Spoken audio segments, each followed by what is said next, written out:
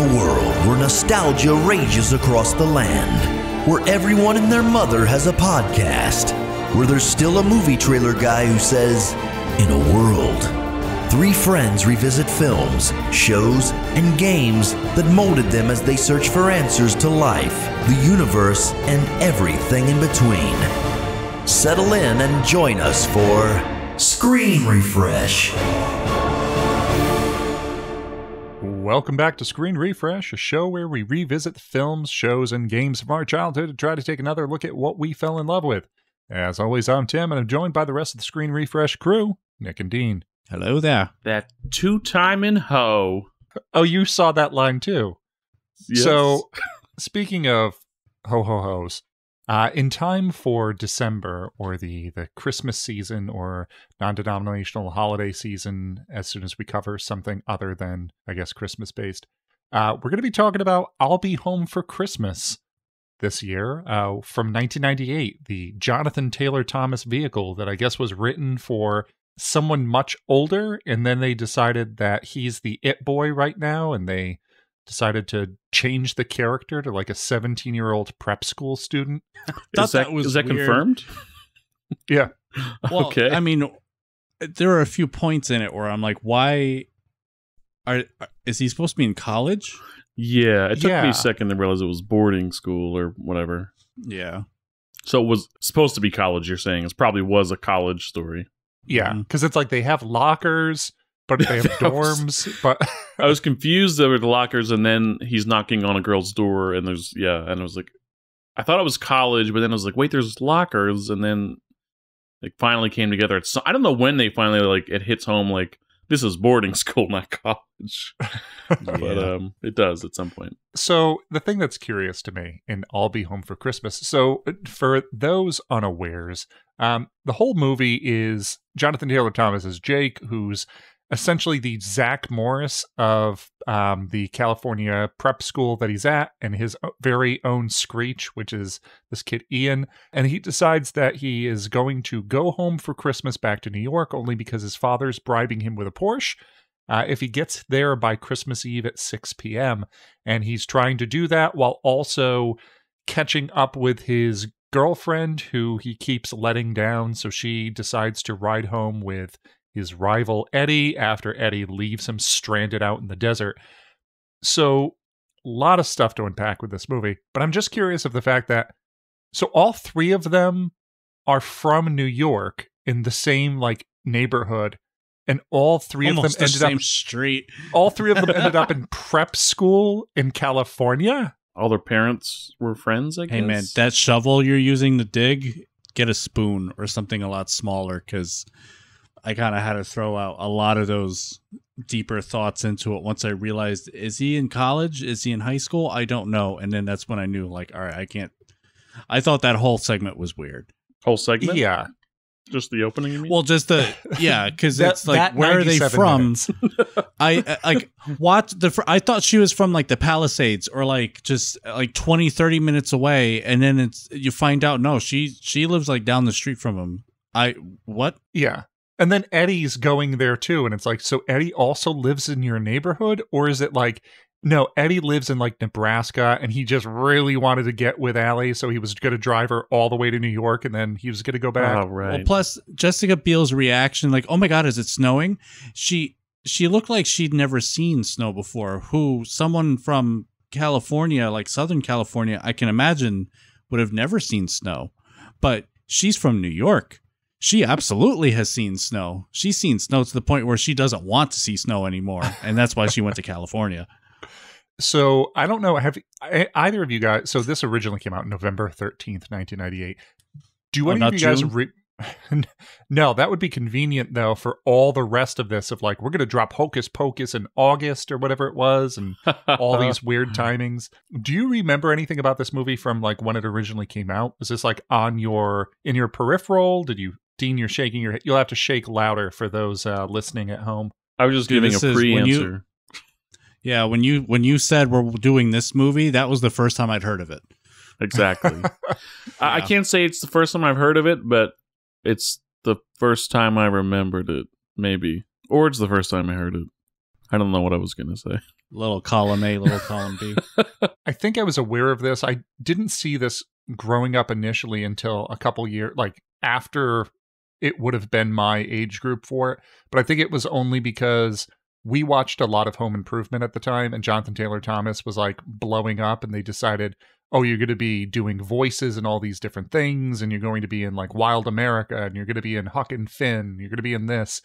And I remember like going to the mall uh, back home in Connecticut, and they would just have like these posters on the wall and whatnot of like upcoming things, and it would just be Wild America, I'll be home for Christmas, and it was just very Jonathan Taylor Thomas centric. He was a heart. You know, he was a funny- teen heartthrob. Yeah. He was. You know, actually, all the other movies you mentioned him in, I have seen those a lot. But this one is the only one where I really had no idea he was in it. like watching this again now, I feel like Jonathan Taylor Thomas cut out this weird section of the late 90s that he was like this generation's Christian Slater of the kind of streetwise, smart aleck younger kid. It was just Slater aged out. We have to get a new one, Jonathan Taylor Thomas. I feel they wrote it for Christian Slater too, because his I didn't know he had that had that title. I guess I'm just When not you- familiar with Christian Slater. Well, just thinking back, just he acts like him, kind of, you know. And a lot of the this movie doesn't seem like Jonathan Taylor Thomas, but honestly, dude, I don't remember him. Period. I mean, I remember all those other movies he's been in. He was Simba, for God's sakes, but this was like twenty plus years ago. I mean, I haven't seen. Is he even still alive? Oh, yeah, he's Yeah. definitely still alive. Yeah. I mean, I Well, feel he, like- he once once nineteen ninety nine hit, that name has never been uttered since. I mean, I don't. I you can't deny that. Wait, no, now I'm just curious. I'm I'm sure he's around and all that. He's bigger than ever.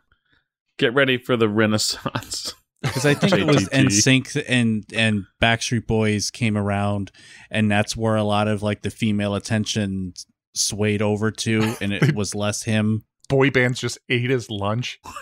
yeah, Uh, pretty- yeah, I mean, yeah. That, I mean, the return of the boy band. Yeah, How we were with Power Rangers is how the girls were with the boy band. So I mean, I fully I respect it. Yeah. So I, I know this was kind of in line, less smarmy, but this was kind of in line with what his character was in Home Improvement of like the the wise ass younger guy, which I guess kind of led into doing this. But that's where I got kind of the Christian Slater thing of like, uh, if you go back and watch stuff like Pump Up the Volume or things like that of Christian Slater when he was around this age, it carries that same energy and acting for the most part. So this was released against Meet Joe Black with Brad Pitt and I Know What You Did Last Summer. with Brad Pitt. So it was a grab bag that weekend. I I doubt the audiences were the same people say watching both. Well, also this was the weekend after The Waterboy came out, Oh, that was a good weekend. And it was like the weekend before A Bug's Life, Enemy of the State, the Rugrats movie. So it was just a bunch of just a shotgun blast of films in theaters during this time of just somebody's going to be watching something uh, for three weekends during this. This was theatrical. Yeah. Damn, I thought this was like a DCOM. so here's the thing. Um, a budget of 30 million, a box office take of 12 million. oh, I think that's all the travel. 30 expenses. million? Yeah, exactly. Yeah, it's definitely the the on location shooting. and the Porsche, and definitely the Porsche. eh, picture cars. They they only needed that car for probably a day. No, they bought it. And then they had to, they actually did the work on it to get into character. restor- Gary Cole. It was a complete ground up restoration of the Ford. They probably gave it to JTT as part of his signing bonus for the movie. Yeah. He was under contract, but he's like, "No, I need something a little more to sweeten the pot." Like, fine, we'll give you the Porsche. I bet they um that yeah, they bought a beat up Porsche and they had JTT and the oh, what is the dad's name? Gary, uh, Gary Cole. Gary Cole. They had them rebuild the car like before the movie to like solidify their relationship. It was Yeah, like very over the meta. course of two Christmases. yeah. So they really got into the role of like Yeah. So the parts where he calls him dad, that's not in the script. It's just he slips because it's been like so long. So yeah, so the the director of this, Arlene Sanford, um, has done all the TV ever. I don't recognize a lot of movies necessarily, but it's just two to three episodes of every show that's been popular between like 1994 and like last week. Um, But the thing I find more interesting is there are three writers attributed to this film. Uh, Tom Nursall and Harris Goldberg both did Without a Paddle, um, and Harris Goldberg did Deuce Bigalow, and the third writer, Michael Allin, did Enter the Dragon and Flash Gordon. So there was a War of the Worlds going on in this script, evidently. I didn't see those influences in the story. You don't remember at the end of uh, the movie when he gets there and he has to fight Eddie throughout the pagoda leading up to meet his dad for Christmas? yeah, at the when he sneaks aboard the plane, he yells at the pilot, you know, dive. Oh, he does. He does ride a little like jet ski, a flying jet ski apparatus.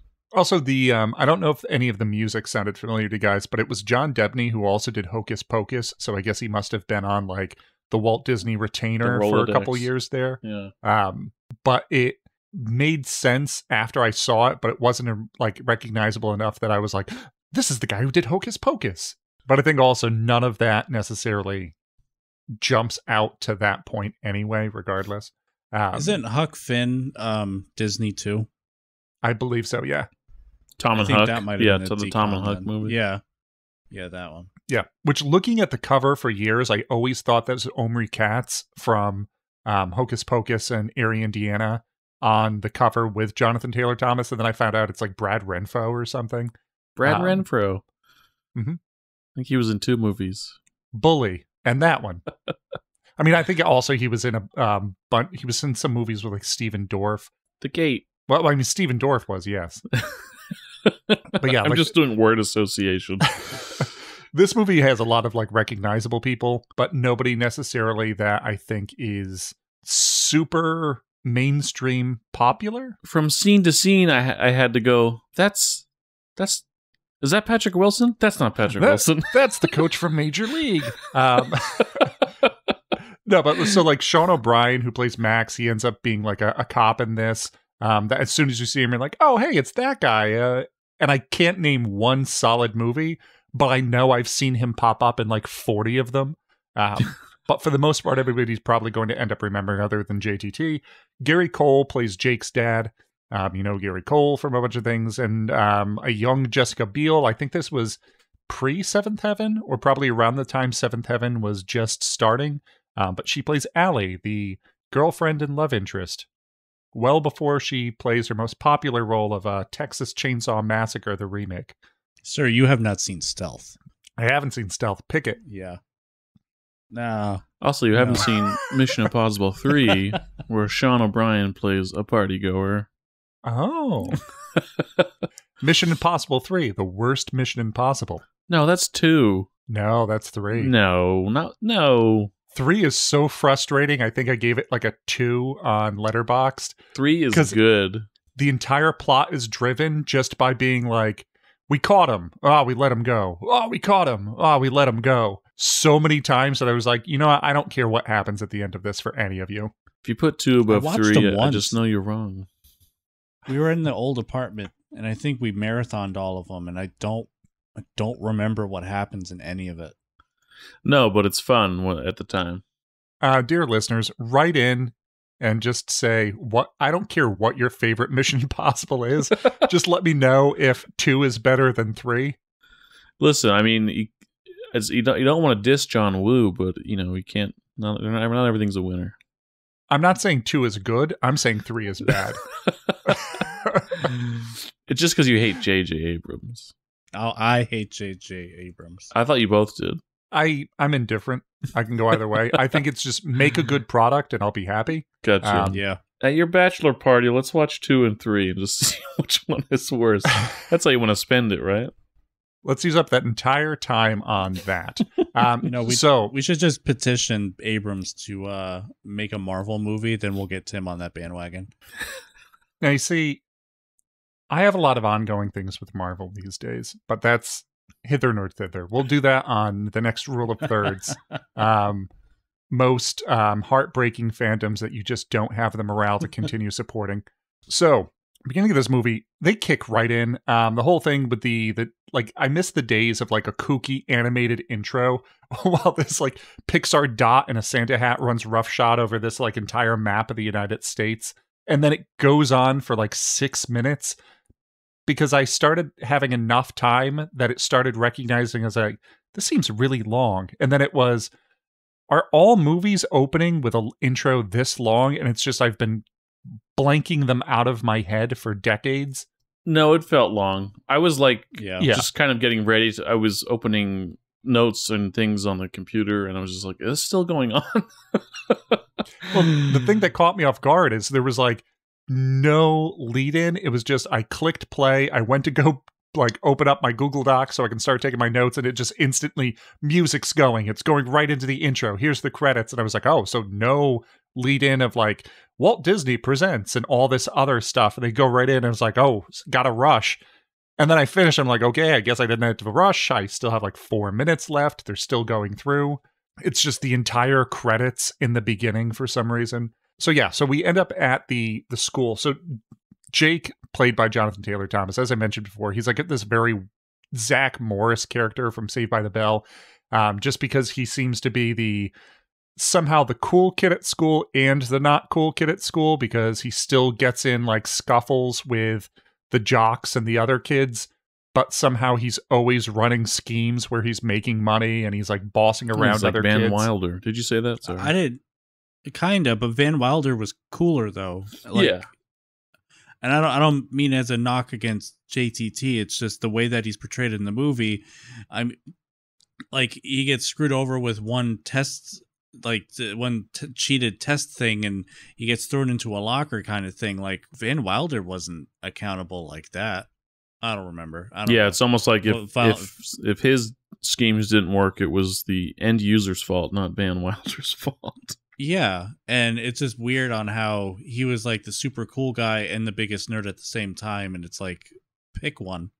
Yeah. So he has this like henchman Ian that he uh, breaks free of a locker. Um, which immediately that's why I was thinking like Zach Morris and Screech of okay, so you're Oh, yeah. kind of the yeah, right. The mouth of the operation. You're getting all these schemes in place, and then the other kid is the one actually like accessing computer systems, and he's the one that's like doing all the other grunt work. For I make him. the plans. If the plan doesn't work, I make a new plan. You gotta love the '90s way of like I'm a computer hacker, so I'm just gonna hack into every database possible because the script thinks I can do sort of things like that. As long as you do it off screen where you don't actually have to show how or what you're doing uh, like at the one point when they talk about the oh yeah like i bought you a ticket to come home and then i found out from my travel agent that his like computer was accessed somehow He says that the ticket I sent you was cashed in for two tickets to Cabo San Lucas. He says somebody sabotaged his computer file. What kind of a world are we living in? Is the convenience of technology worth the loss of our privacy? Who would do such a thing? Where will it end, Dad? so you mean to tell me that these kids at prep school just like hacked this travel agency computer accessed files changed around monetary information How FBI, FBI should be showing up at the school. When did when did hackers come out? They might have been a little preoccupied in downtown New York. Like to me why is he running these scams on these jocks if clearly his buddy can just access and change financial information from computer networks i don't think they need like 20 bucks a pop for giving test answers when he can just create the da vinci virus and like skim off pennies from an oil tycoon I had a shipment of diamonds rerouted to my dorm room. I'm looking for That's buyers. actually- you know anybody? So when ian is shaking the thing to make it snow that's actually what it is Asbestos. He, Oh. he crushed up all those diamonds from that shipment.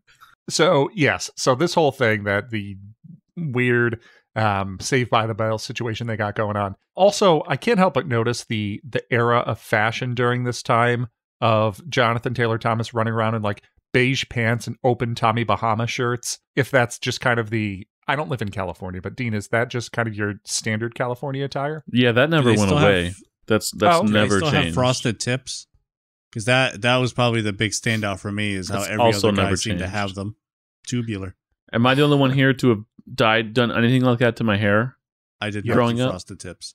I didn't frost tips, but I did like bleach some of my hair, like dirty looking Eminem kind of stuff. I was always worried that if I did anything to my hair, it would not return to the exact way it was. and at the time, I was like, I like my hair. Maybe if you burn your scalp, it irreparably damage your follicles. But yeah, Don't disagree anyway. with my alarmist childhood nature. so yeah, so um the whole thing with Jake, he ends up going to Allie and like bribing her security guard of this other girl with candy bars of some sort and then kicks her out of the room so this way he can try to convince Allie to go away on this uh, vacation to Cabo instead of going home for Christmas. This is why I thought it was college because to me, what kid who's like 17 years old or like 16 years old and in prep school is getting two tickets during December to like go away to Cabo with his girlfriend? yeah, solo with a girl. Like, yeah, that's yeah, like uh, who who would get those tickets? Like, okay, granted, his Screech ended up obtaining those for him probably, but what hotel service would be like? Okay, and we're checking you in. Okay, and you are two children. Here you go. Here's your room. Credit card, you got it. What I want to know is what are two 17 year olds going to do in Cabo? Like, that's a party thing for spring break sort of place. I mean, maybe they I don't can. know, that's like, fake eighteen. I think eighteen is the legal age in Mexico. So oh, maybe, but still, it's just like, let's go to Vegas. Like, none of us can gamble. Like, why, why would you want to go to Vegas of all places if you can't gamble and just an extravagant vacation like that? I would feel drinking isn't going to be the primary thing, but it's going to be one hell of a supporting thing to your whole trip, you know? So yeah, I mean, I guess it worked out that she turned him down because she loves going home for Christmas. She wants to return to New York uh, with their winters and the sleigh bells and the carolers, and is upset at him for trying to get her to uh, do anything but. So this is when we have Eddie, who's the going to be the ongoing rival throughout this, ends up meeting them in his car, driving backwards as he's taunting Jake and hitting on Allie until eventually he just crashes his car and then I guess off-screen repercussions because he next scene he has his car again and they're just ready to hit the road the next day. I think he stabbed the other driver, so they wouldn't have to deal with insurance. Well, yeah, that's the thing. Like if you're going to hit a car, you have to make sure they're dead. they can't show up in court. Can't afford those premiums increasing. this is not legal Is it- advice. It's just that stupid trope too where he's actively talking to somebody not paying attention to where he's going but it's worse because he's going backwards in his car and he's not and he's going kind of fast that whole Yeah. time just waiting for him to hit somebody and sure enough Such a different movie if he ends up hitting somebody and killing a pedestrian from there, and then they slap the cuffs on Eddie. His life is ruined. Jake gets away scot free. He never has to learn a lesson because he just flies back and gets his Porsche. So, yeah, so as we said, Jake has dirty dealings going on at this school because he's supposedly he had some issue with fake IDs with the jocks, the the Brant man and the Murph man and all these men that present themselves. But their whole issue is they sold him fake IDs. Fake IDs didn't work.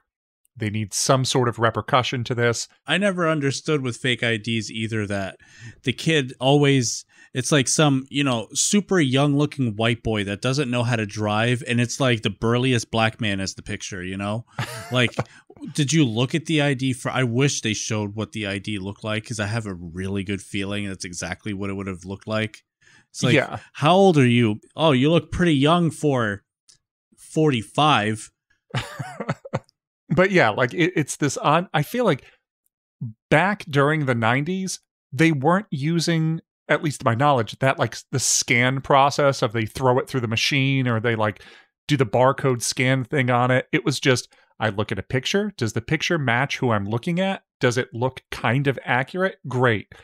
how do they please. screw something up? So, yeah, exactly. Like, how do they screw up something so simple time and time again? Um, so, anybody who was alive during the '90s for the the club scene that used fake IDs, I would just be interested to know how that went. Just tell us a story as far as that. So he ends up telling the other guys, the Murph man, Brant man, all of them, that he's going to end up for a small fee giving them beepers, and then on their next test, they're going to get them the answers um, to make up for what happened to them with the fake ID situation. That beepers thing made me laugh. That was probably the 90th thing out of the whole movie besides the frosted tips. Did you guys ever have a beeper? Yeah, when I was on the football team, our coach wanted to constantly be in contact with us. So they would beeper us in class. I always thought too beepers only notified you of an, an like, Like, an call this number. phone call. Yeah. Yeah, not like full on text messaging on a pager. I didn't know that could like But I- one way text messaging. He is too. hacking, I guess. I don't know. I don't know. I mean, he developed text message technology Man, years that before. yeah, you don't see the B stories. He goes on to become a billionaire. That kid. Isn't he? Isn't he just the um you know Captain Crunch or whatever his name is from Hackers? Isn't that just how it ends up becoming? he he's, eventually becomes he's Matthew Cereal Lillard. killer. He's actually Yeah, just that's Captain it. Crunch. He's gonna be crash override. I Right swear, now, he's just zero cool.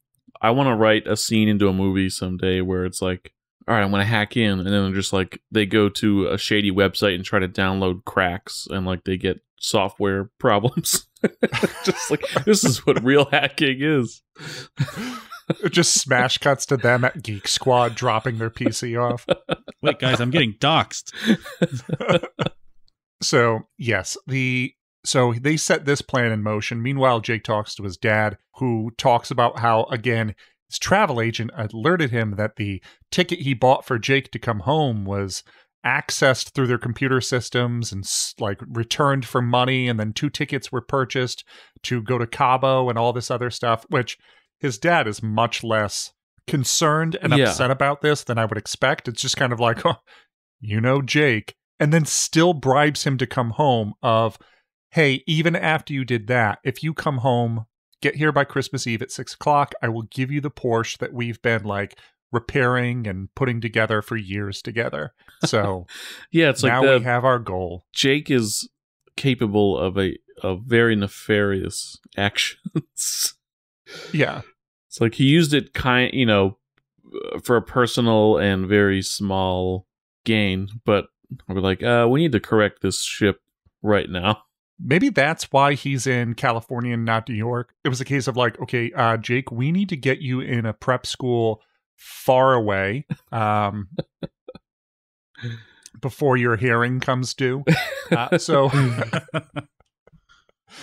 so yeah so uh he ends up having this whole situation. He gets his two tickets home to new york and he tries to make up to Allie, telling her that like hey i listened to you. I heard you. Here's these two tickets. We're going to go back to new york which he is back and forth in this movie as being absolutely like an insufferable selfish punk and then every so often he has kind of a a nice moment I know a lot of the the reviews, like in hindsight, a lot of the things I read modern day talking about this movie is looking at it as he's like a monster through and through the entire film. Rewatching I didn't feel it, that way. I yeah, rewatching it, I don't think he is. I think in the beginning he's a jerk, but I think it's like the last quarter he actually like it's he's fine. He's doing stuff unselfishly. Um so I don't think that necessarily holds up as far as a today's lens on Yeah. a 1998 film for Jonathan feel- Taylor Thomas. the last quarter, I feel he just grew a conscience, Yeah. and I would need a sequel for me to fully appreciate any kind of change because the way the ending, especially, I don't trust him still, and I still think he's a walking red flag. And Jessica Biel needs to run as fast as possible away from JTT for that whole time. But the for as often as he was very just a jerk, he had enough likable moments. Whereas I don't like this kid, but I'm going to continue watching to see where this goes. Yeah, I don't think he was like completely irredeemable the entire time. He wasn't. He was doing things that was uh, untrustworthy and kind of shady. Um, but I don't think at any point he was doing anything deeply malicious. Um, for the most part, at least on, on his whole road trip thing, I think everything ended up for the better for a lot of those people he ended up getting in touch with. So yeah, so he is now on his mission to go back home for Christmas Eve. And as I said, he Jake and Ian give beepers out to the the jocks. Um, the problem is he ends up taking the test, giving it to Ian, running Ian back to his prep dorm, where he's figuring out the answers and sending them over to uh, all of the jock men, The um, beeper whatever their crew is called. Yeah, the beeper receivers, jockmans. so uh, Eddie, because Ian does not close his door after he walks in a room while he's doing illicit activities, Eddie just follows him back in there, and then I guess grabs him, stuffs him in the locker, and then texts like "game over" to all the other guys. Uh, so they're understandably upset. Which, in afterwards, when you find out that Eddie is part of that crew and Eddie is a friend of theirs, he's like the leader of that pack or whatever. It's wait, so Eddie hung out all his own friends to dry just to get at Jake for this. he had a sense of righteousness as well. He's like, I, I don't want my friends getting by like this. Like they need to learn a lesson. I. Education's just- I important. think I think he just really had it out for JTT, and even though he knew how malicious his friends were, they were he was willing to like, you know what, fuck him. I just want to see him get screwed over from a a bad deal that he did. like a sink the ship to kill the captain kind of deal. Um, yeah, like he likes the ship, but he hates the captain, so he doesn't care. Which I figure it would be so easy if these guys are now coming after Jake for Jake to just say, uh, we didn't do that. If Eddie is coming to us now, it's probably him, especially since Ian is stuffed in a locker somewhere right now. Which they do a lot of things like that of it's nighttime, if I recall. They stuff Ian in a locker. So that means Ian won't be found until the next day. And then later, when they knock out Jake and they drop him in the desert, they leave a lot of people for dead in this film. Not I like was a just gonna fun say, prank. like, they, they could have very easily been premeditated murder charges on these guys. Yes, absolutely. yeah, like at least Ian is in or even civilization. attempted murder. So yeah, this, this whole situation, Eddie ends up showing up at this party where Jake is at and brings the jocks in that end up telling Jake that they are none too pleased with the situation with the beepers. So in retaliation, he wakes up the next day in a desert in a Santa suit with a beard and hat, like spirit gummed or super glued onto his face where he can't take it off. Somehow they didn't think that there's any possibility of him dying. Um, I'm very curious as to how he wakes up during the daytime out in that desert. When it was nighttime before, did they drug him? Did they knock him out so hard that he just stayed unconscious for them to completely redress him, glue this to his face, put him in a van, drive him to the desert, walk him out in the desert, and then drop him off there? I feel like the blow they would have to land to his skull to get him to go out that long. I This- the same Jake ain't waking up. I think we you might have discussed this a while ago, but it's almost like that's a trope that just has no basis in science. It was on our because, Rule of Thirds trope episode. Yeah, like if you get knocked out, there's serious brain damage if you're not back up in a couple seconds. Like if you're knocked You out know for that what? long, like you are fucked. Maybe that is what made him kind of turn around as a person. knock some sense. If they didn't, literally knock some sense into that boy. you know, if they drugged him or roofied him or something to knock him out during that party instead of clobbering him over the head and still dumped him in the in the middle of the desert, maybe he still would have been a scumbag. I wanted Maybe. to see that entire sequence though of them every time he starts to stir, they like get him in the back of the head with another wrench and then just put him back out. He's definitely not waking up after that. Jake wakes up in the desert, tilts his head to his side, and pours out half his brain so he can continue along. Oh, he's just all tuckered out. He's not dead. Life's much simpler now. I don't have to think about things. So yeah, so Jake wakes up in the desert with the Santa suit. Uh, the Eddie and the jocks leave him for dead after knocking him out and this whole thing. Eddie convinces Allie to take a ride home with him instead, seeing as Jake uh, left her hanging there to dry, waiting for him. Jake gets to a gas station but can't get in touch with Allie, so he leaves this like cryptic message of Desert Santa Buzzer Tumbleweed. This totally sucks. for the the old read them all pick us up uh, kind of deal. that's, that's that, that was his girlfriend's activation words, and she just starts killing. He's been Did you catch slowly the, uh, implanting it. the little like Lion King Easter egg that they did too? Oh no. Because both he in this movie and in the Lion King, he plays Simba. He wakes up in the middle of a desert getting attacked by a vulture. I didn't. when did this come that. out? 98. I guess. I, I mean, guess. that was those are years between. Any of the kids who watched Lion King were long since dead. Oh, no, I was just curious I'll when Home they- Christmas came out. that could be possible. It's possible. Oh, you're just mad. I found a piece of trivia. You didn't know. I I doubt that two Walt Disney produced pictures would have a reference to each other.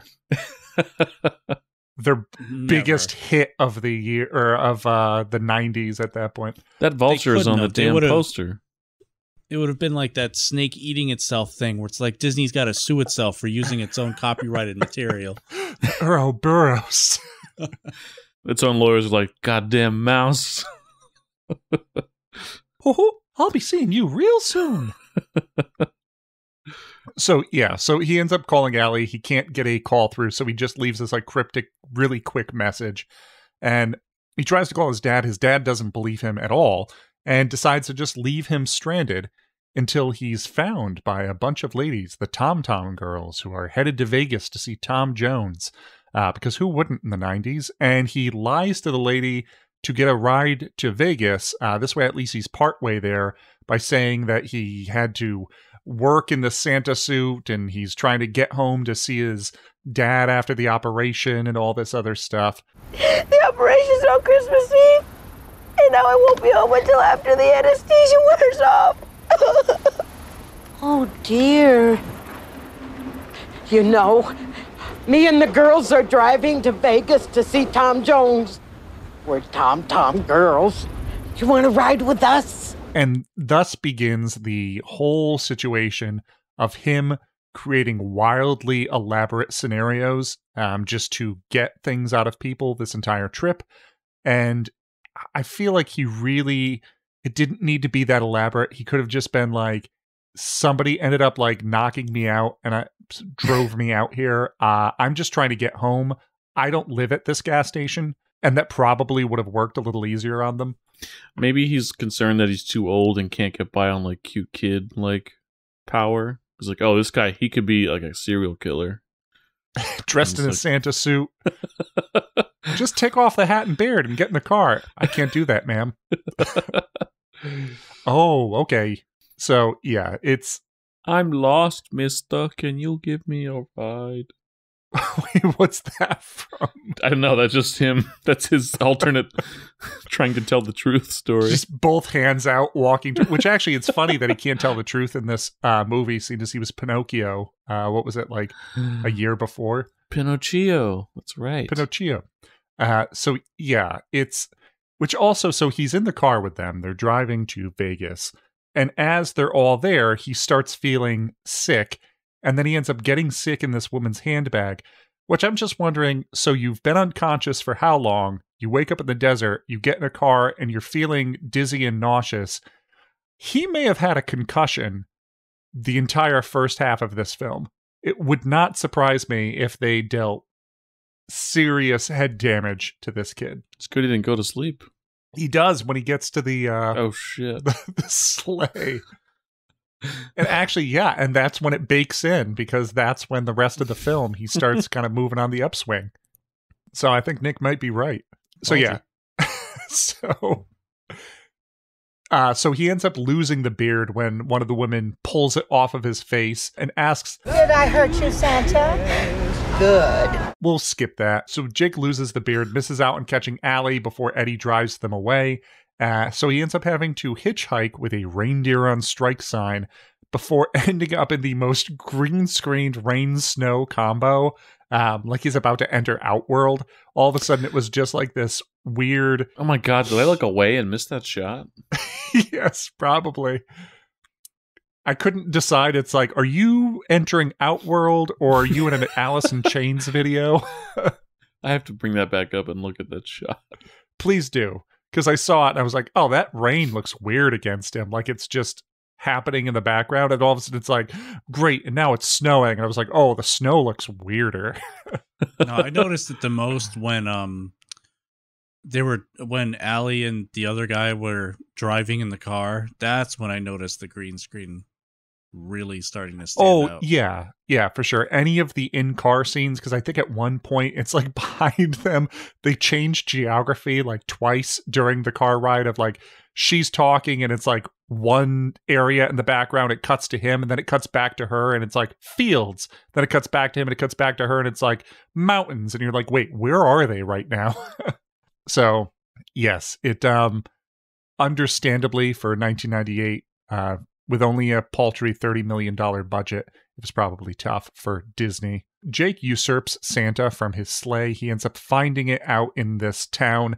Uh, he decides after a long sequence of talking to the Santa that is in this sleigh, uh, an inanimate Santa, he ends up pulling him and kicking him out of the sleigh so he can take it and go to sleep, which I would think if I knew that I probably shouldn't be there and somebody might kick me out, I would probably sooner just like tuck in next to the Santa so it's a little less noticeable.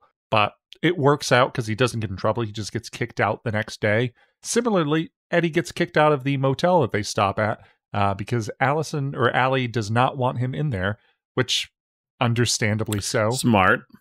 Smart. Uh, she even has a bunch of rules for him of If you say too many stupid things like that, I'll have to slug you. If you say anything nasty about Jake, I'll have to slug you. If you try to feel me up, I'll have to slug you. If you make me listen to any sexist, racist, or homophobic jokes, I'm gonna have to slug you. And finally, I might just have to slug you from time to time simply because I find the prospect of driving across the country with you incredibly stressful. All right, sounds like a party to me. if he breathes, What? great ground slug him. So when I heard her say sexist, racist, and homophobic, I was like, let me check the rating on this movie again. What what is it?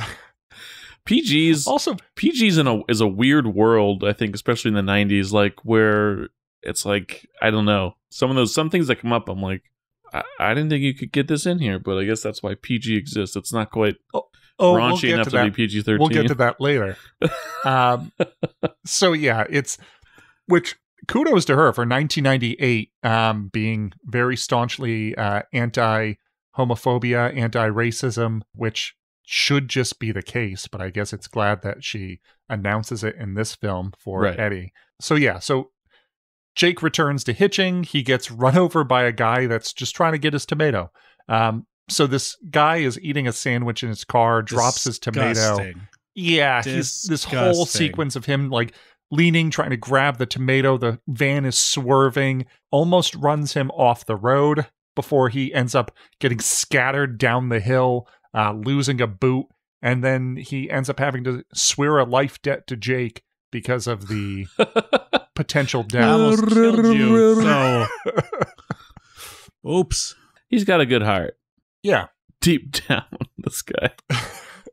this yeah this guy i forgot how much of a character some of these people are until we get to parts like this and i'm like oh this just feels very mid 90s family friendly comedy of just these like slightly off kilter weird like just non sequitur encounters that he has with all of these different people I probably laughed the most at this guy's stuff, though. Oh, personally,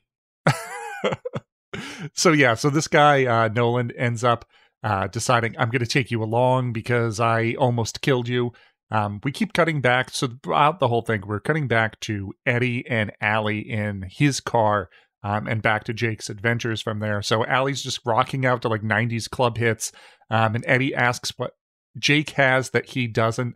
And she just says it's kind of a certain je ne sais quoi. She says, like, oh, he mentions poetry to her, and Eddie doesn't understand who E. E. Cummings is. And then Eddie ends up making a joke about poetry, and she kind of very begrudgingly um, is amused by it, which they slowly over time throughout this movie, I feel like, show the breakdown of Eddie and Allie getting closer or at least more to an Not understanding of each other. Yeah. That you think like, oh, okay, so this is going to lead to eventually maybe it's like Eddie becoming a better person. Uh, no, at, spoilers for the end. Eddie will be locked away in jail, and we will never see him again. the last, the last we see of Eddie is him banging on a police car, screaming for Jake to help him. Do we, Um, kn- and then we, we, don't just know what he did, right? He just he pestered police. He's he's gonna spend the night in lockup if anything. Yeah. Which means that if she just made it home for Christmas Eve, I don't think Eddie's going to make it home for Christmas Eve. Um, he will be getting out of lockup if he's not killed, and then he's going to end up probably late. I was gonna jump. After- I won't jump ahead. I'll wait till we get to that scene later. No, you can jump ahead to whatever. Out of curiosity, I mapped his trip the best I could because watching it, I thought I knew the geography. I of the love US, this. and it's not as crazy as it sounds. It's actually really anticlimactic because the only exception to this map is um, once he gets to Madison, Wisconsin, it's a flight to New York. But aside from that, that is the entirety of his trip. And it starts with LA. He gets driven up to California. I don't know where. They just said in the desert. So I kind of just picked where it's the um Death Valley. Yeah, I just figured that it's the closest thing to Vegas. That's where they're going. From Makes Vegas, sense. they go up to somewhere in Colorado. It was somewhere Yeah, in they're Colorado definitely in the Rockies with at one um, point. when Yeah. that guy hits him. They end up in Yep, Nebraska go- at one point. Yep, North Platte, Nebraska. They specifically go to the town of Amana, Iowa, for the the Edelbrook German thing, Like which I- Bavarian I, I, Inn. I would have loved to go there. That looked awesome. I bet that And then he goes, huh? I didn't say anything. Oh, I just said, yeah, I bet that. well, yes, you did. yeah, you did. You said I bet that. Like I know. I just feel like I'm gonna interrupt. I don't want to interrupt because you're going through. Don't No. gaslight him. And then they go to Madison. And that's where he takes the Santa Claus run in one of the neighboring towns or whatever. I don't know. Within like a 20 minute radius of Madison, I guess. And that's where they he takes the flight over to La, no, JFK, LaGuardia, one of those. I don't know. Larchmont Larchmont is apparently like that section of New York before you actually hit the city, just after you hit Connecticut. Oh, yeah, because I noticed when he was um taking like the train or the bus or whatever it is, it said like now in New Rochelle, and I was like, wait a second, New Rochelle, you're gonna be in, you're coming from like the Connecticut side through. So did he pass where he was going? maybe. I mean, he showed up at JFK, so he definitely should have come from the south going north, but who knows? I mean, it is Christmas. Might there might have been traffic and he detoured, but I don't really I'm not going to think heavy into it. I mean, I'm just more surprised that there's actually a path for this of like, yeah, these are all real places. Um, I mean, I don't know about like the Bavarian Inn kind of thing, but like the towns are real towns, just findable on a map. You should just take that like map poster and then just post it on the Instagram for listeners with no context of just like upcoming episode. Um, and then just see if anybody looks at it and would be like, what movie has somebody taking a path from California to Larchmont, New York? And then they'll listen to this episode and I'm just hoping someone looks at it.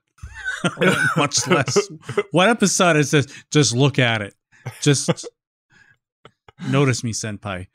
It is 31 hours of driving to go from Los Angeles to Madison, Wisconsin. So for him to be doing this in three days or less, he is cutting it close because yeah, 31 hours is less than three days, but you're not going to be driving 24 hours straight. the last time I like it's been so long since I've seen this movie, though I don't remember that last plane ride from Madison. So for some reason, I just remembered the Santa run and then him stealing the sleigh. And I was like, wait a second, does he run from Wisconsin back to New York like a Forrest Gump moment? So yeah, like as we were saying, as far as uh, Allie and, is talking with Eddie, and then we end up getting introduced more to Nolan, who is riding around with Jake, taking him eastbound.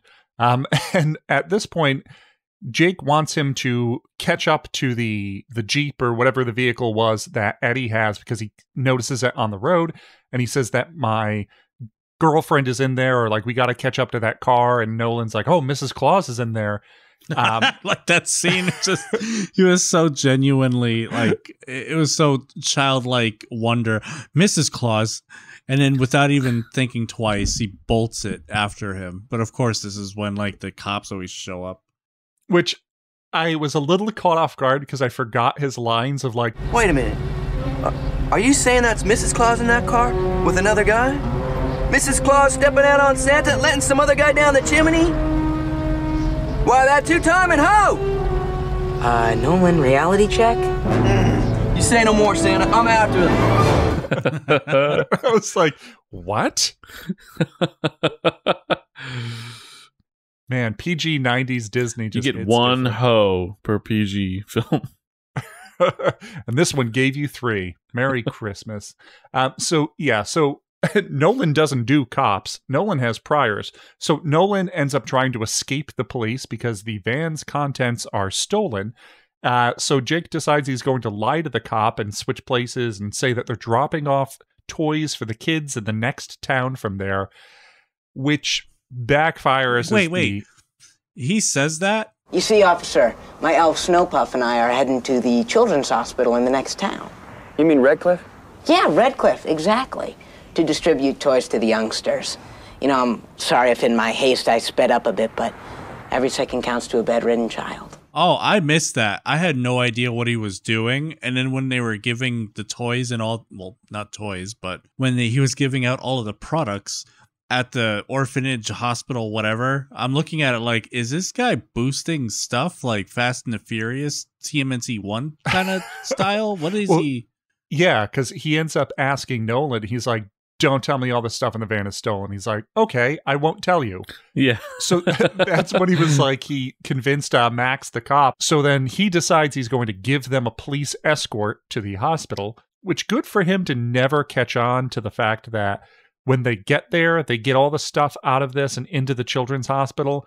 And Jake has all of them sit on his lap, tell them what they want, and then he gives them a toaster or a hand vacuum or VHS player. yeah. Which I mean, actually, in the '90s, a VHS player, I'd be like, actually, this is kind of useful. now we can watch Lion King at home if Disney didn't put it back in the vault. I did like seeing all of the different products. He had like an N64 in there. I saw Sidewinder um, PC Yep, the joystick. joysticks. Yep. and I was like, wow, I remember that. We're sure that police officer is not Patrick Wilson. It is. It is He looks so much alike. It's like they're It brothers. is Sean Sean O'Bryan. I know, I know. Yes. Um. Actually, wait. Was Sean O'Bryan on the show My Brother's Keeper? Hold up. We're gonna I- pause I real quick. I don't know. Do do we have to? we do. This is gonna. This is how my brain Oh, boy. works. It's gonna drive me crazy. Yeah, so little Esteban ends up sitting on his lap and tells him that he doesn't want anything for Christmas. Um, he just wants to go home. He just wants to Oh, see all of his family. And like everybody in the room is like breaking down over this.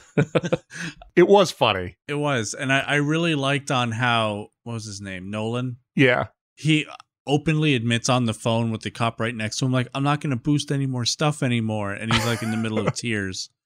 Yeah, so it's just like this funny sequence of it just smash cuts to like slow pan of Nolan talking to like his wife or girlfriend or whatever it is of he's not going to boost things anymore. He's going to go straight and then it's Max on the line talking about how he wants to get back with his uh, wife and like take him back and then it cuts to Jake on the phone calling his family and just wanting to get home and it's it's funny also, I was right. Brothers Keeper, 1998 to 1999. He finished this movie and then went back to filming that season. We didn't question anything.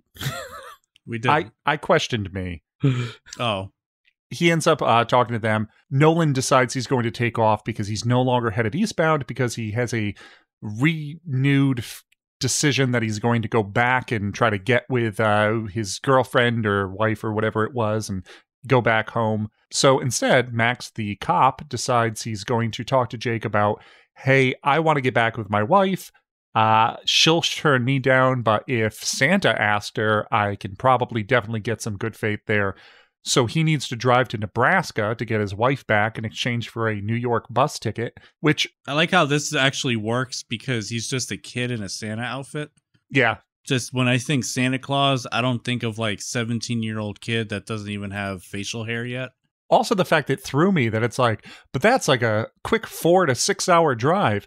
I guess after the the wife situation, he must have just gotten a job at a different precinct entirely, or she went back home, or maybe I'm just trying to look for too much information on Max and Marjorie in this film. So they end up driving to the the turf and turf uh, diner that Marjorie works at, and she won't take Max back because of his infidelity at Smitty's. Um, so Jake talks to her about him not liking his stepmother and using kind of these examples, uh, which is clearly thinly veiled, just him um, about all these things. But instead, he convinces Max, you need to go in there and you need to sing your feelings in a song. And uh, it's this weirdly off key, sometimes horny, weird segment of this song. Oh, baby, oh, baby. I'll make it up to you on the velvet skirt of the Christmas tree. I do like where at the end, Jake tells Max, Now on your knees. Now on your knees. Do it, don't sing it. Yeah, I like how it's scripted, and then like at the very end, he ditches the script and he goes from the heart. Yeah, and that's where I thought it was funnier on how he starts embellishing and adding in these things that are weird to us, but I guess match made in heaven for them. So good for them. So, um, to their promise, uh, Max decides to get a bus ticket home to New York for Jake, where we then go back to Eddie's car for deep thoughts about skillet breakfasts and the Messiah. Um, as he's talking about how he has deep thoughts too, or he has ideas too, and he talks about how more things can't be served in a skillet like Denny's. Think about it. They give you your meat, your eggs, your spuds right in the pan, man. That rocks. I I don't have any pros or cons against Denny's. Like I I'm neutral. I'm Switzerland in the Denny's discussion, I guess. But I don't know if I would use that as the the comparison I want of why can't more restaurants just be like Denny's? And then the whole thing of essentially what if God were one of us? What if the homeless guy that comes up to you saying he's a Messiah and you turn him down? What if he does turn out to be the Messiah? Think about it. Eddie, I think, has moments where he's almost likable in how dumb he can be, but then they kind of keep throwing it away every so often, which is disappointing because I think Eddie's the one out of anybody in this movie that kind of gets shafted by the writing of he doesn't really have an arc, he doesn't really have closure, he just kind of is there. You think he changes, yeah, kind of, sorta, and then just disappears. Well, it's a problem of the main character. He's supposed to be likable, but he's not, and he's a scumbag through the whole movie. So the only way that you can make a scumbag a more likable person is to make somebody worse. But I guess they the writers just didn't have the heart to do that to him. I don't know, like it. Yeah, to have him he had like, that one redeeming scene where he was talking with Allie, and when she brought up like you know like just the general deep question stuff kind of thing that like couples would talk about when they first start dating sort of thing but he thinks it's stupid and then he goes off the rails with something else that's just equally deep and then he you know ruins it for himself and the whole time i really feel that she's just too i i feel bad because i feel in like five ten years time she's gonna wake up and realize like oh my god this guy's terrible for me oh And yeah that's where the sequel will come in and that's when i'll be home for christmas but it's actually she's going over to eddie's house instead I mean, that's the chances with most high school relationships. I think.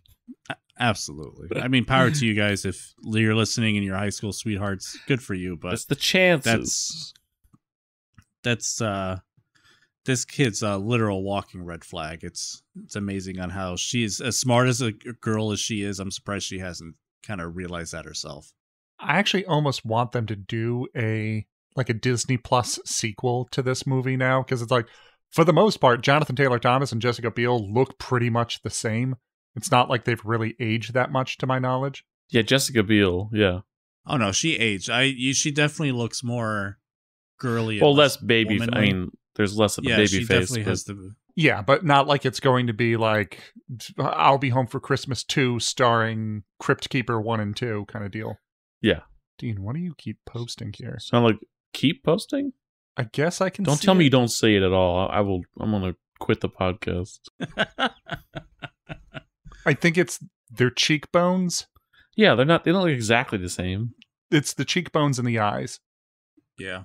Dean won't let it die that Sean O'Bryan looks like Patrick Wilson, so he's sending us comparison photos At, ti- in our at times. in real time. At times. Um, yeah, I didn't, I did didn't once. premeditate these photos. Sorry. in the background of his Discord video, you just see all of the photos on the wall on a corkboard. Um, so yeah, so Eddie thinks deep thoughts about skillet breakfasts and the Messiah. Um, we cut back to Jake in a bathroom, just workshop and a couple hoes in front of a kid um, as he's trying to find out like what one works better, which was a weird but kind of funny scene of the kid being like, "Well, The first one's good for really little kids, like my sister, who's three. And the second one's good for big kids, like my friends and me. And the third one's good if you want to scare people and watch them run away screaming. Okay, cool, thanks. Whatever. and then there's no continuation of the scene. It cuts back to um like the Eddie and Allie thing when they get to the the Bavarian village and they decide to stay there and they're now they're having a little bit of fun and they're like throwing snowballs and chasing each other around and uh, then accidentally just end up making out on live TV under a mistletoe um, while a reporter watches and then Just as he's watching the TV. What yeah, the as Jake is watching it and just seeing that in real time. So Jake decides to get on the bus and then he wants to go to this place. Um, because what was the name of the the village? Edelbrook. So he wants to go to Edelbrook. The bus driver will not take them to Edelbrook. So he gets the idea that he's going to take the crayons from a little girl, the cooler from another guy, the meat sandwich from a third guy, just weirdly eating an open face sandwich with barbecue sauce that he's putting on with his fingers. A whole different thing going on there. So he ends up taking all that, uh, creating a fake organ donor cooler um, filled with what is supposed to be a liver, and then convinces the entire bus we need to go to Edelbrook because we need to get this to the the donor in time. Um, as you know, EMTs will write in crayon I on the was just gonna the- say they, they bought the crayon or the just the crude writing. It's not even in like really good script. It's just like now it's just just scrawled in crayon on top of there. What's worse for me anyway is I watched Rat Race very around that same exact time.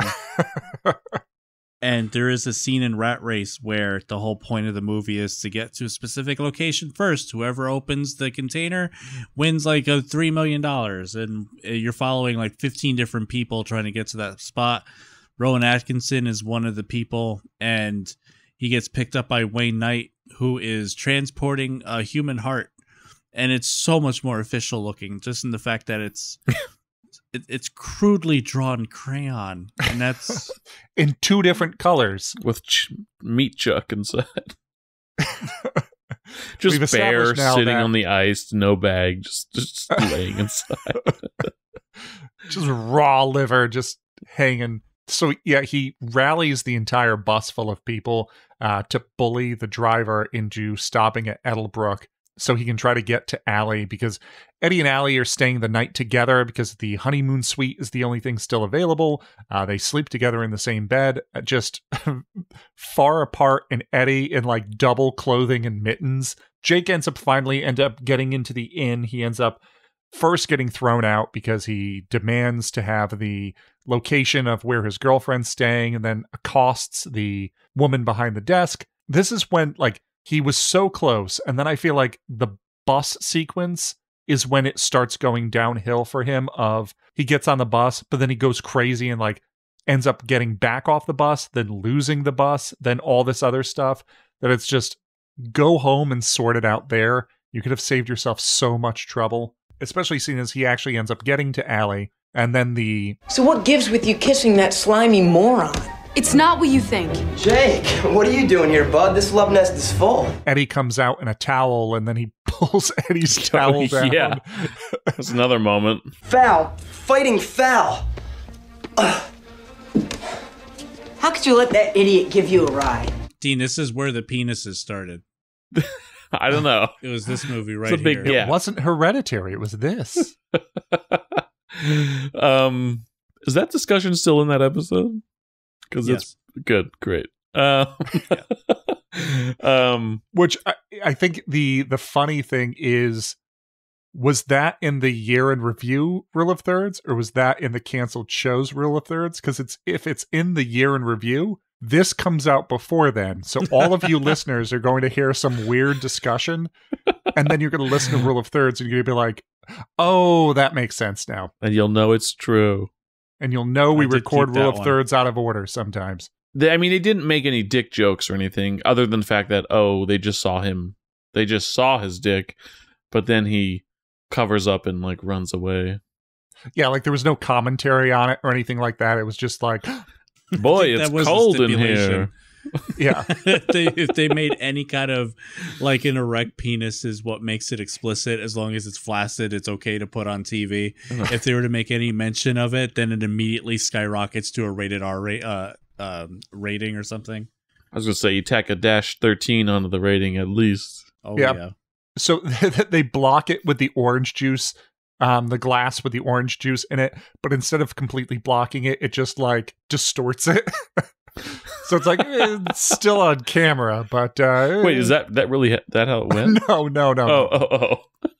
that would be insane if disney was just like yeah i mean it's there but it's not really anything anybody can enjoy so he ends up having to run away and then Allie ends up finding out because jake accidentally mentions that I have to get there by six, and she finds out that he never actually wanted to go to New York to bring her there for Christmas.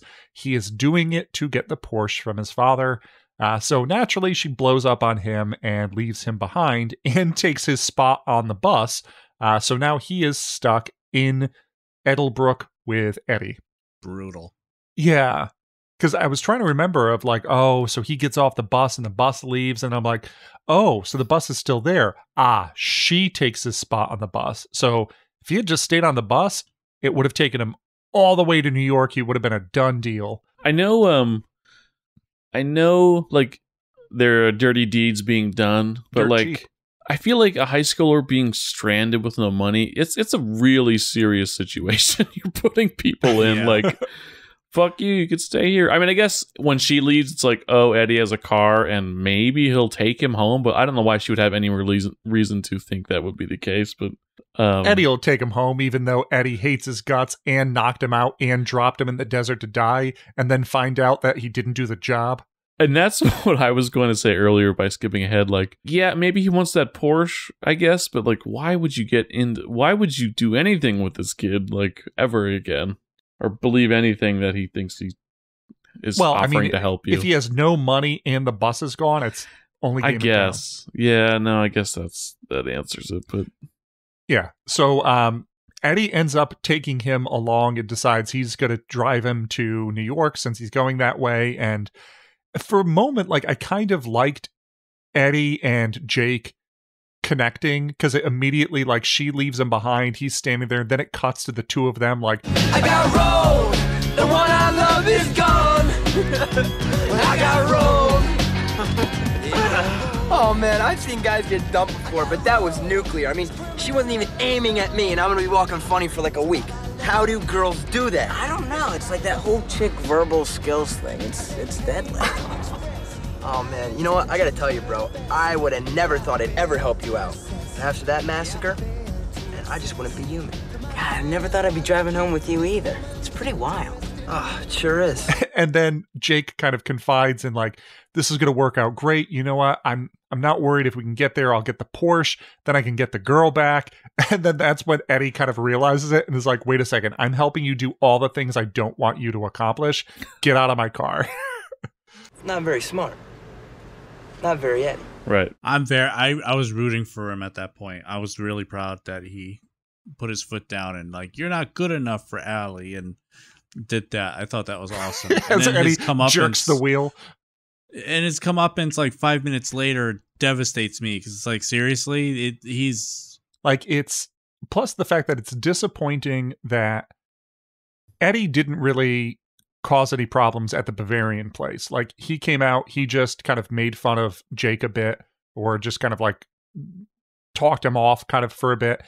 And then she decides to, oh, I was driving with Eddie. Nope, I'm going to leave both of them behind.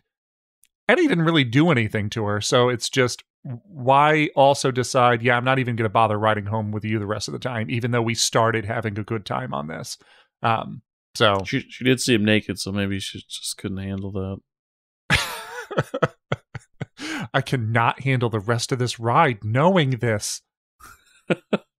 I'm cursed with knowledge. Her eyes are just like pure white. it's like a Fulci's the Beyond. Um. So yeah. So she decides to take the bus. They're driving home. Eddie kicks him out of the car because he realizes like I'm not going to help you achieve your goals.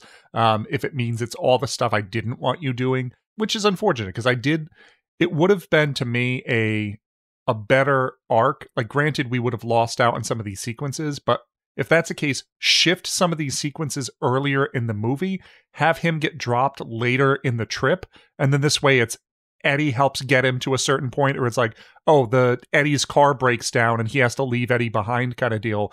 Because to have them end on this note, it's kind of disappointing of them to start becoming a little bit more friendly or at least understanding where each other is coming from and then just have them nope done dropped delete everything we just did for the past like three minutes Yeah, I think it just the writers, like you said, just we need to have them separate and fuck Eddie. Yeah, we just like- said this moment. i thought it was so weird that eddie pulls a gun on him and he says get out of the car open the car I- now jump As JTT, I was like, man, I would have found a, I would have thrown something at his car as he left. Like I would have done so. I couldn't have left that going unpunished. put your thumbs in his eyes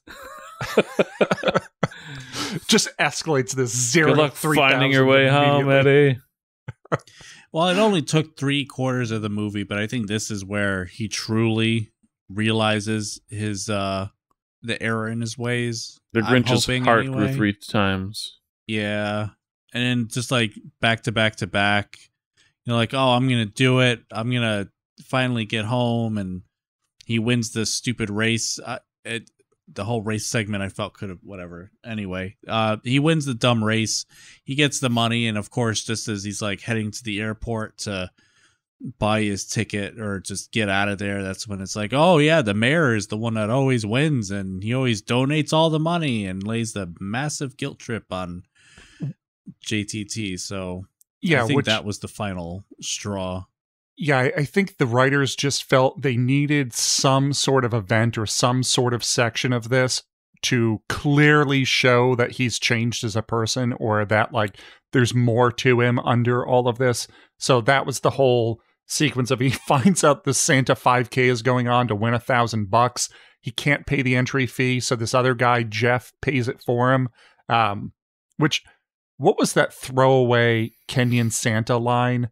of just like, oh, we're going to be the ones who win here, um, except for maybe that guy. And it's just like a, another guy running by, and he just points to him. He's like, Kenyan? Yes. All senses to the starting line. and he just keeps running.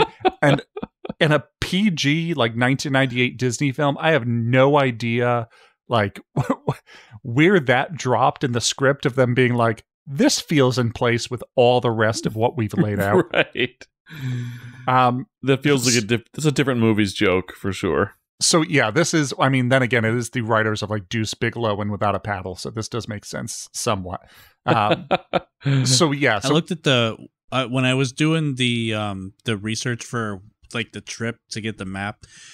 It actually is supposed to be a Ferris Bueller type movie for a teen pilot kind of like pilot driven, however you put it. It was actually supposed to be for Ferris Bueller, and I felt that was like a a weird. I don't think they nailed it at all. No, I don't think No. he's Ferris Bueller esque. Um, I think that's why I was clever thinking more. Zach Morris is he is kind of indefensible um, for most of this, whereas I feel like Ferris Bueller at least is likable by people. It's not like a complete cad through and through. I mean, they have a whole Funny or Die series on uh, what was it, Zach Morris's trash of revisiting all of the horrible things that he does to his friends and all the people around him. So yeah, so he ends up taking part in this 5K where he ends up getting towards the end. The other runner is going to win the uh, Kenyan Santa, and then he ends up like looking back to like make fun of them or like mean mug at them, and he ends up running into a sign and just knocking himself out. So the whole thing is you have to make it to the finish line with your hat and your beard. Jake gets towards there. Jeff is right beside him. He loses his hat. And I noticed that Jeff stops running while Jake is trying to get his hat and get it back, and then starts running once Jake starts running again, which is nice. Of he's at least trying to be as fair as possible because it's like he doesn't want to win if it means that he wins because the other kid had a mishap. Um, and then Jake blows him out at the end. Um, and he ends up losing anyway. So, moral of the story is kick them while they're down. Get good, scrub. So then it's actually the mayor's fault that he jeopardized those poor people's turkeys. Yeah. Can you imagine all the little kids like on the sidelines and whatnot, and they see Jeff just stop running, and they're like, "Wh- Jeff, "Why? Why? Hmm. I have gotta to be be, shitting me." fair." But I'm hungry, Jeff. I have to be fair. Lawful good. all their little legs sticking out to try to trip Jake in the last moments. So yeah, so Jake ends up winning. He takes the thousand dollars, gets in a cab, he bounces. Uh, he's going to go to the airport and fly home, and the cab driver drops the knowledge on him that, as Nick said, Oh, you didn't know? Wow, he wins every year. A lot of us folks wish he'd won this year, too. Yeah, he seemed like a good guy. Keeps potholes filled, huh? Mm, yeah, he keeps the potholes filled. He also donates his entire winnings every year to buy turkeys for people who can't afford them. He had to be the mayor. To to remain the mayor, he has to win ten straight victories in the Santa run. this was the tenth race. after 10 races, we reclaim Toledo. so yeah so he ends up uh, losing and deciding you know what he's going to give the money back to the mayor anyway he's going to keep that tradition going which i think this is the scene that even though it feels like just jammed into place this is the scene that i think does show him showing his good side or trying to turn over a leaf a little bit. Of he ends up writing on the envelope like the the turkey tradition continues and he drops it in the the mailbox and the mayor comes out and talks with him and says like oh we'll set a table or set a spot for you at the table. And he just nope gotta go. I thought when he got to the mayor's house, he was going to find that like the mayor had killed his family, like in a rage. Or the cab driver pulls away and then a block around the corner stops the car, says that he think he lost his hubcap, goes back to the mailbox, snags that one hundred one thousand dollar envelope and drives the kid away. I like that scenario. yeah um The the end. I like all of those really. I mean, I was more so waiting of when he ends up saying like, "Oh, I'm going to give all the money to the mayor. Here you go." Well, do you want me to set a place? No, I got a place to be. I'll see you later. Like, have a good one. And he gives all the money back to the mayor. That then the cab driver was going to be like, "You still owe me." like, I'm not. I have uh, five bucks. Yeah, it's like uh, we're at one destination. I'm still taking you to the airport. You will still need to pay me when you get there. Um, if it's going to be like he's going to tuck and roll once they get to uh, wherever the Madison airport is. Don't worry, I kept a hundo for you out of that uh, envelope.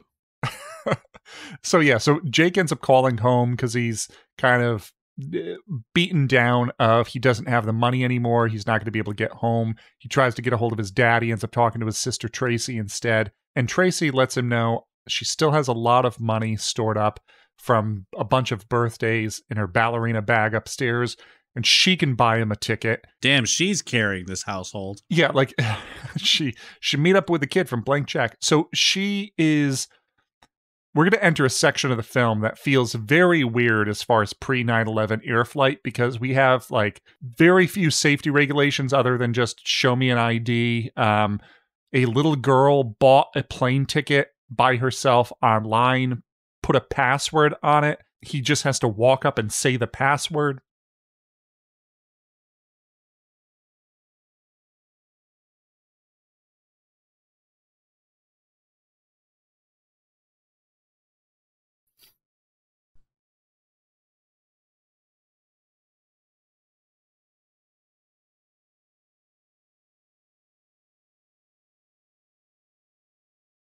And the, c- I was just gonna say there were no reper- repercussions for that, right?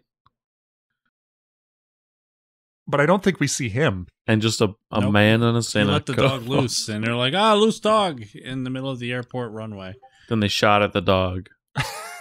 He just looks back and he winces and he's like, "Oh, but I did leave all that money to that guy." I didn't expect to see this movie on that website that tells you if the dog dies. so yes, he he escapes the plane um, after traveling via crate. He ends up taking a train and then gets kicked off the train because they ask for a ticket and they say, uh, no ticket.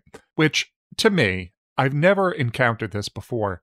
But would they actually just stop the train midway and kick you off the train wherever you are? No, do you get um do you get sent off the next stop? Because if that's a case. Will they try to find you just, too? I don't know.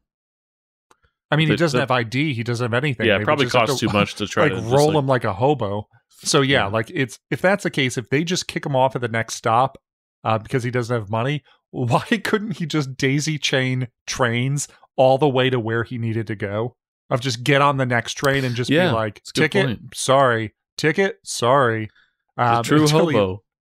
until eventually it's like uh, Emperor of the North. They're gonna have like Ernest Borgnine come out with a wrench and just beat him if he doesn't have a ticket. we heard about you. Watch that film, Emperor of the North. Ernest Borgnine is a train conductor who is known for beating hobos. Um, and Lee Marvin is like the king of the hobos, a number one, um, who is fighting against him. Ernest Borgnine would like he'll put like a giant piece of metal on a chain and drop it underneath the train to knock off hobos who are holding on. Jeez.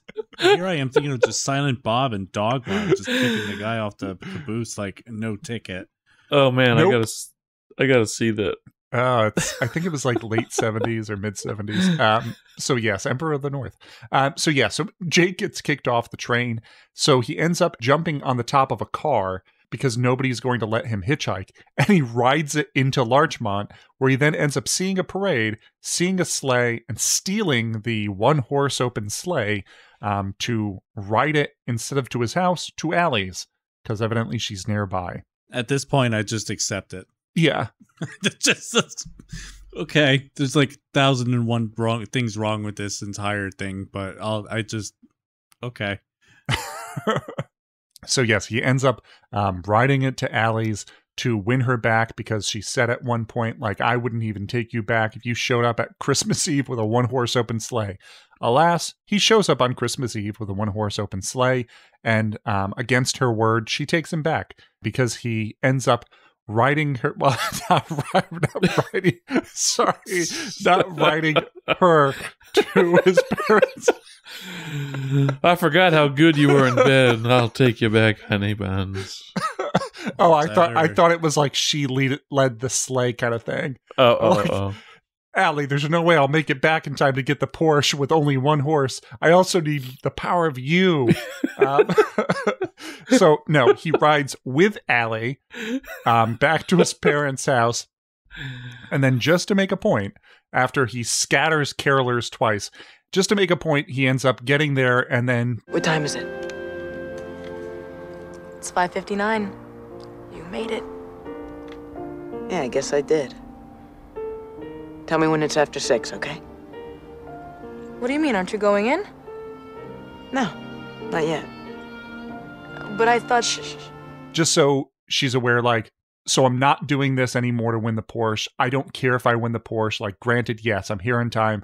I want to lose. It's more important to me that we're here. Great.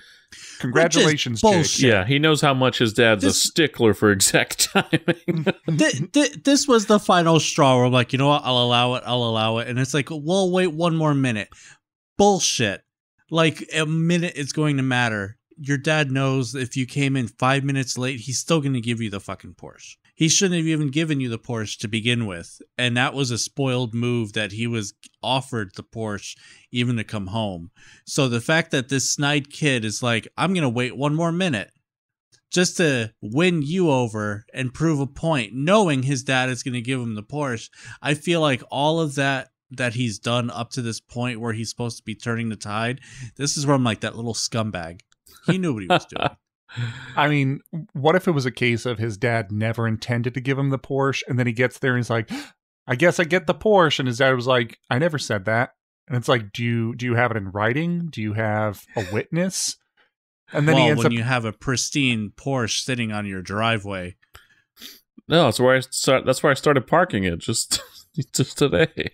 his son takes him to court over it because he thinks he owns the Porsche, and then his dad buries him in paper until next Christmas. Um, so yeah, so he ends up getting there. He says, "No, let's wait a minute. Let's just watch my family, and then we'll go in." Because it was just after six. His family was just getting ready to sit down for dinner. They decide, okay, now's the time to go in.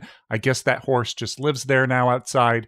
Um, they end up meeting the the family. He ends up talking with Carolyn, the stepmother that um, he always had issues with because he felt it wasn't right that his father remarried so quickly 10 months later.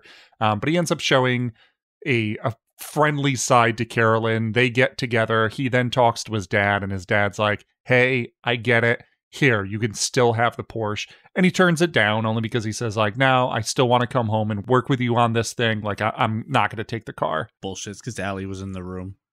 Oh, I yeah. like when they. The second she uses the bathroom, like, Dad, come on, give me the give me the keys. It was weird when they first pull up, and he's like, "I'm not going to go inside," and he's like trying to motion to her with his eyes, like, "Look, there's my family. Like, let's just watch them." And then his eyes like gloss over, like white, and he's just his his jaws like open, just staring at his family.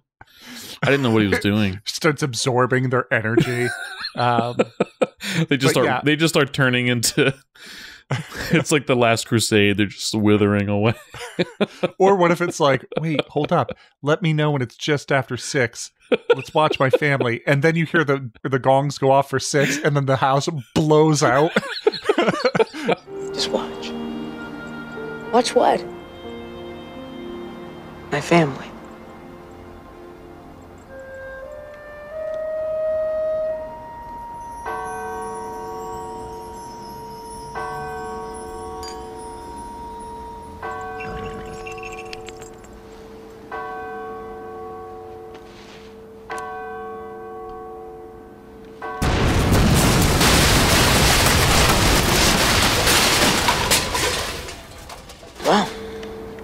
Guess it's about time I went home for Christmas.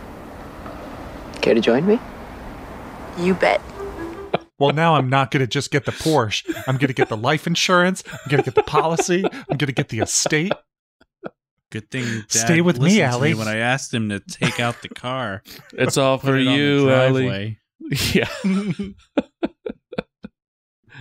And you find out Eddie didn't get left behind. He got there ahead of time and he's the one who rigged the explosives. That's what they were deciding in the car. we need an alibi. We can't show up together. You get arrested. Um, I'll go off by myself.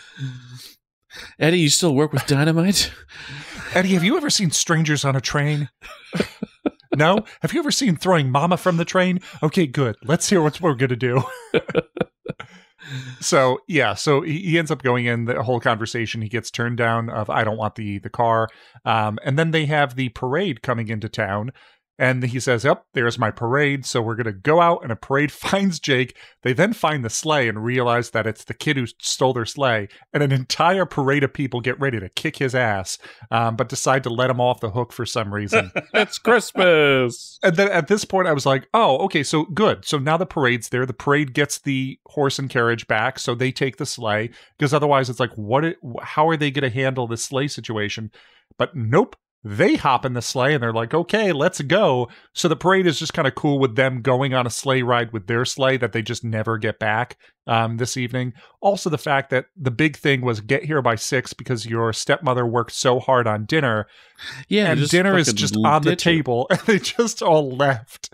So, all the stepmother really wanted was a fucking a, sh- a sweatshirt Was Yeah. there orange juice on the table? Was it drunk? That's usually all that's consumed. gotta go i'm just late six spots at the table with toast, one bite taken out. So yes, so that is I'll be home for Christmas. Uh, they all live happily ever after, except Eddie, who is in lockup, I guess, who at some point probably. By the way, like, can you? That seems pretty abusive. Uh, abuse of power. All you said was like, "Hey, get out of the way, you dummies!" And then they arrested him. Yeah, so yeah, the whole thing with Eddie getting arrested is while the race was going on, he was stuck at one of the like you can't cross kind of things that they sometimes put up to block roads for the races. And he saw two people like as trees there, and he was like, "Hey, move it!" And they turned around and they found out they were cops. And the next thing we know, his car is getting towed, and he's in lockup in the back of the car, like screaming for Jake. Um, so Um, my head canon is is like they were going they were going to like your license registration and then he's like sir there's or like officers there's really nothing to do. Like look i need to go and he's getting out of the car while they're yelling at him to like get back in the car. He's ignoring it just saying on how and he's reciting the entire journey of what led him to this exact moment and why he was upset. The cops are like holding their arm out while they're reaching for their gun like sir please you need to remain in your vehicle. And he keeps pursuing forward and then just some big thing happens and he gets slammed onto the ground and that's why he gets arrested. And they Stop start firing, and he's still walking forward. As Eddie is just getting torn apart, but he's still talking. His eyes go white. He's It's like still Wolver- continuing. It's like Wolverine. I'll just heal. Um. So yeah. So that that's that's that. Um. I still like the movie from back when I used to um when I saw it last ages ago. I think there's definitely faults in this thing, but I think as far as like a very cheesy Walt Disney production 90s comedy, I I think it's pretty solid. I think this falls right with things like uh, all the other stuff they had around this time like Jungle to Jungle or all this other I won't put it in the wasn't bad. rotation. I wouldn't think it's a. I don't think it's a bad movie, but I think there's so many other Christmas movies that I'm like, I Oh, don't need. yeah. I don't need to add this to Yeah. uh to a yearly list. it, it reminded me a lot of the little mermaid and where and as a kid watching the little mermaid you side with ariel And Oh, then- okay. tim No, I thought you were going to go plot wise. let me finish Wait, no let me finish I, I i close my eyes and I immediately can just imagine what little mermaid hold on I did the it same makes thing. sense. So yeah, it's just Little Mermaid. You side with Ariel through the whole thing as a kid. It's like you know you want to break free from your parents' rule.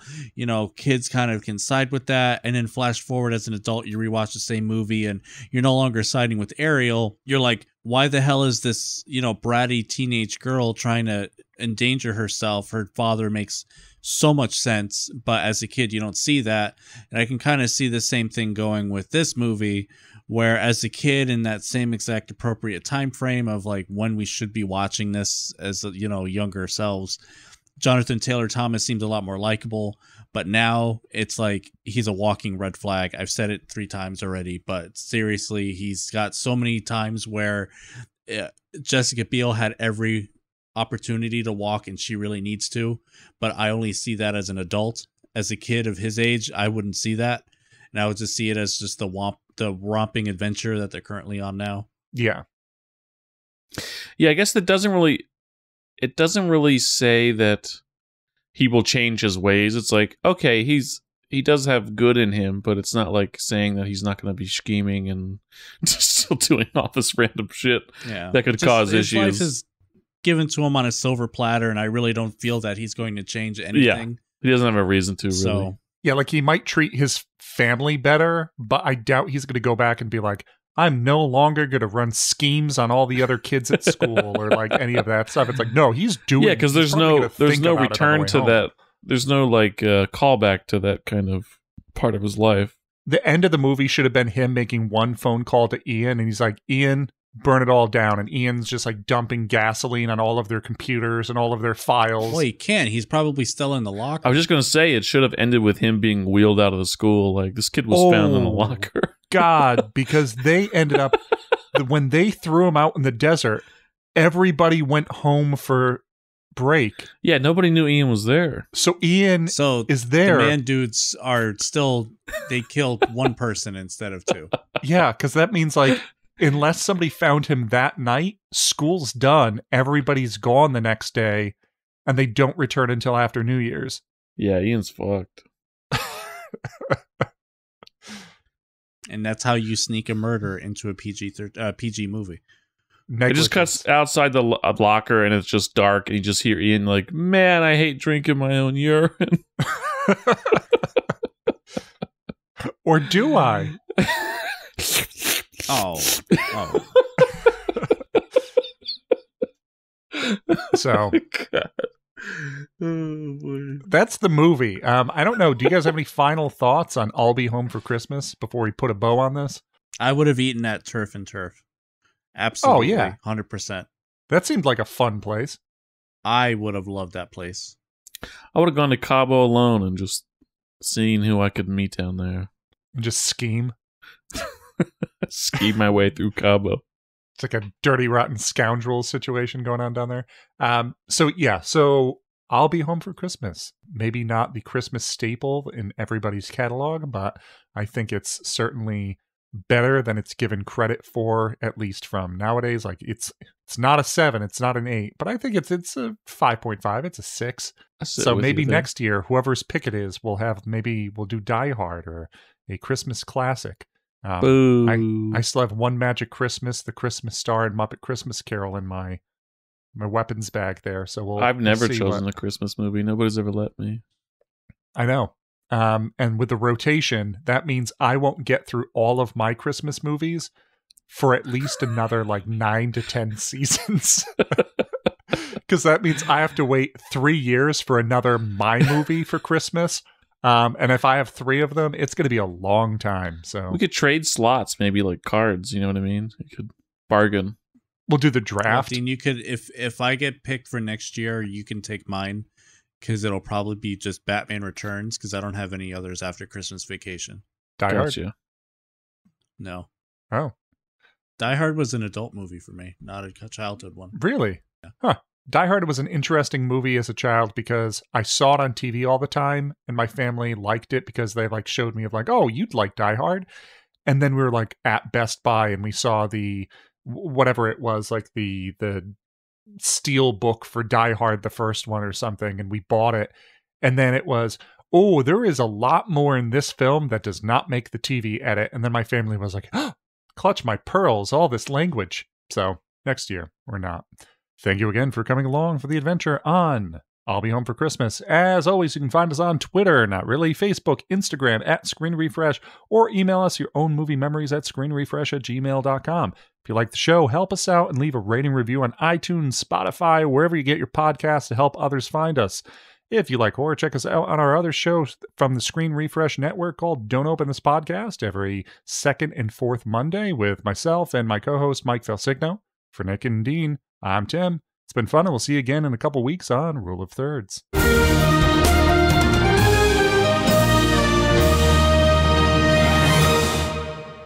Wait a minute. Uh, are you saying that's Mrs. Claus in that car with another guy? Why, that two-timing hoe!